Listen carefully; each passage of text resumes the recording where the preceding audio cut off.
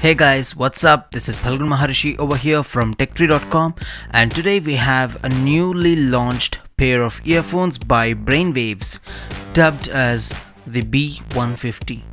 These earphones come with a price tag of rupees 7499 and at this price point we can clearly say that this is one of the expensive earphones I have seen by the company. The earphones are accompanied by a rigid carry case. Uh, we also get a cable clip and velcro strap to tie the cable, two pairs of you know small, medium and large silicone tips along with a pair of comply foam tips. We also get a user guide. This kind of package is fairly common with Brainwavz products but one thing that's special about this earphones is the armature based drivers that are inside the earphone. Well, it seems like a bargain, right? Okay guys, so having said this, let us dive into the box, see what's in there and check how this earphone justifies its price tag. First things first, the earphone is designed to be worn with the audio cables over and down the back of the ears instead of hanging straight down.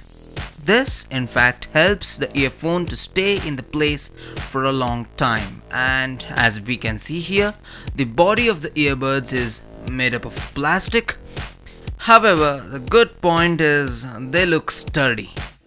One more thing I would like to add about these earphones they are balanced armature earphones and they do not have dynamic drivers in fact these balanced armature drivers are smaller than dynamic drivers and are known for better treble performance.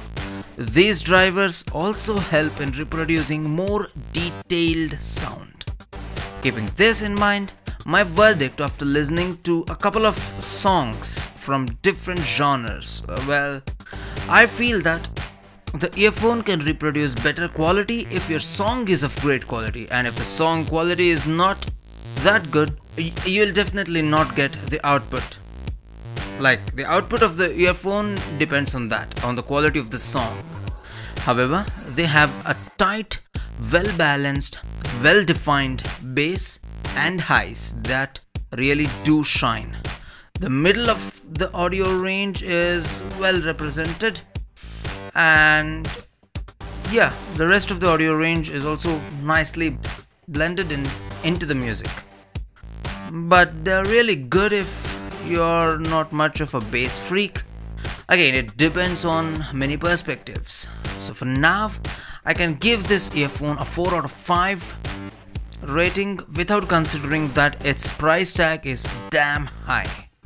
Okay guys, with this note, let me sign off for now and this is Phalgunn Maharishi from TechTree.com. Take care, we'll see you soon.